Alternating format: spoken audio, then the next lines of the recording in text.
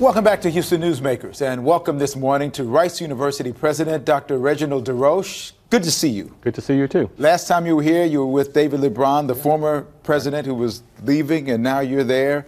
And now you have the keys and yes, the responsibility. How does that feel? It feels good. It feels good, especially now that I just went through the inauguration. Uh, lots of activity and it's just exciting to be in this position. You've been a familiar face on campus for a while now in your role uh, there, uh, but talk about the emotion of last weekend with all the folks in town and just the ceremony and the weight of, okay, I'm the eighth yeah. president of this university and the first one of color. It was, it was amazing. It was really overwhelming at times and, and to, there were all these events that took place and to actually have it happen on campus in, in the quad with thousands of people um, with the ceremony was really special. To have Ruth Simmons, who gave a, who spoke, and for her to talk about how she, when she graduated from high school, she couldn't attend Rice, and now we have a black president it was, it was the whole thing was very special. Yeah, Dr. Simmons uh, is a special person. yes, for so many. for so, so many. many of us. Yeah. Hey, it was a necessary evil of sorts for you to walk around university a little bit, get the obligatory videos of right. you know beautiful scene shots and things like that, and because of the history of what this is. It's a big deal. Let's talk about uh, what the real work's going to look like in the months to come. Um, what kinds of things are you planning for in the strategic plan that will make a difference at Rice, uh, yeah. short term and long term? Hopefully, not just a difference at Rice, but a difference in, in, Houston, a difference in this country and the world. And so, some of the things we're focused on is growing the research enterprise at Rice. Increasingly, research is seen as a way to drive economic activity in the community that you're in. And for us, being in the city of Houston, we have the opportunity to work closely with the companies here and with the medical center to really help drive drive the economy and drive discovery of new technologies and commercialization. So that's going to be a goal. And, and, coupled with that is growing the graduate programs. Rice traditionally has been known as an undergraduate focused institution. Mm-hmm.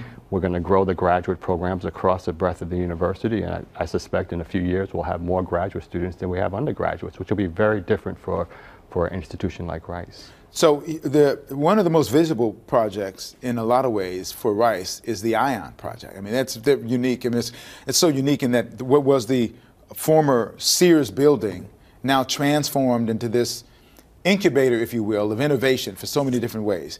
Talk about how this has evolved and what more is going to, because I looked at the website and I see what it what it's going to look like, right. and it is an amazing undertaking. Sure. Now the building itself is obviously complete, and if you walk in there, it's it's vibrant. There are people in there, and there are people that look like us. It's a diverse place for innovation and commercialization. We have a variety of different people from companies mm-hmm. and people from industry and students from different parts of the city. It's it's amazing.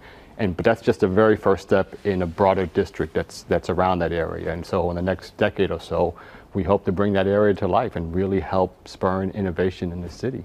What kind of timetable is there in place? Do you put a timetable in place? I know you're surrounded by a lot of people who help put together your long-term strategic plan of what's going to be on the horizon. What kind of timetables are associated with any of these things that you hope to get going uh, on behalf of the university? Many of these things will take years, um, whether it's five years, especially the, the focus on growing the graduate programs and the research. These are things that won't happen overnight there are various steps that we're doing right now. We're going to, announce at inauguration, we're going to hire 200 faculty in the next five years. That's going to help us with this growing of research and, and building the graduate programs. But all these things take years, and there'll be many steps that we take along the way to get us there. What, what's going to happen with the cost of education? Yeah. Um, that has never gone down over the years. It seems to go up. The, the kinds of things you're talking about, is that going to take more money? Is that going to end up costing a little bit more in terms of the tuition for the students? So one of the things that we're really proud of at Rice is our financial aid package, which is one of the most, the Rice investment is one of the most uh, generous, I think, in, in the country where families that make less than 75,000 get free tuition and board, and between 75,000 and 150,000 they get free tuition. So we will continue to support student anybody who has a desire and aptitude to study at Rice. We will continue to support them to, to be there. One of the things that we started on a program in another segment here today, we're talking about the challenges facing our children in our community and consequences as a result of domestic violence. The kids are on, unfortunately on the receiving end of some of that. One of my guests actually taught a class at Rice, and it's required for all freshmen. It's called Critical Thinking and Sexuality.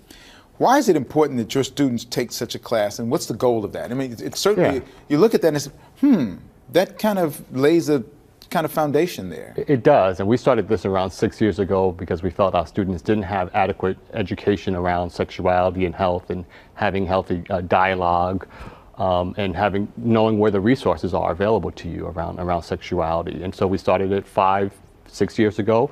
It's a five-week class for all incoming freshmen that are required to take this. It's in small groups, and it's a place where they should really feel open to have these discussions. Last year, after we launched the Office of Diversity, Equity, and, and, Inclusion, we started a similar class called Critical Dialogues in Diversity. This idea of talking about diversity and culture.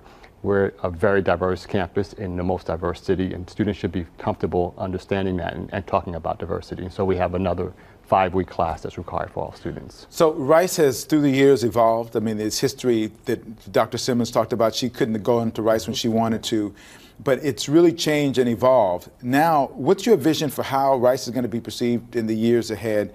And what are you going to use as a measure of what success is going to be for you? Sure. So, two things. One is we, we need to be more of a global university. Uh, and we're establishing partnerships all around the world now so that we're not just known as a great university in, in Houston or in Texas or in the country, but around the world. And so we're really trying to uh, establish more partnerships around the globe. We already already started one in, in Paris. We have uh, a presence now in India. We have a partnership in, in, in Argentina. So that's one component to it. Um, and we need to be, continue to become more diverse on the faculty level. One of the things I'm most proud of is in the last five years, we've doubled the number of black faculty on campus, doubled. And so uh, I, I always tell people the most important thing for our students, particularly our students of color, is to see people like them in the classroom. Mm-hmm, mm-hmm. And we will continue to do that as part of our, our mission as a university. Um, in five years from now, 10 years from now, I mean, this is a long term thing. You're going to retire as president of Rice, right? I will at, at some point, for sure. I'm not sure if it's five or 10 years. Uh, you know, I don't think about my legacy. I, I want to leave this place better off. I want more people to know about how great this institution is, and I want to make sure we have an impact on all segments of society. Well, you're starting out that way, certainly with a bang. Thank you, President Roche. Thank you for your time this morning. Good luck. Pleasure Continue good luck, and uh, some of that 70 family members have gone They've gone back gone home. Back. now I can get some rest. Thank you again. Thank you. Appreciate it. Appreciate it.